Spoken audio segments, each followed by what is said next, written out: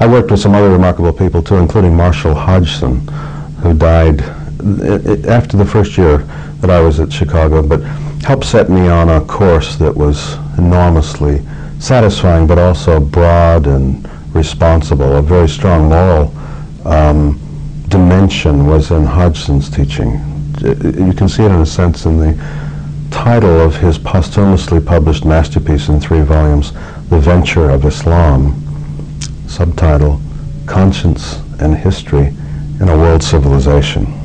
And this was at the University of Chicago.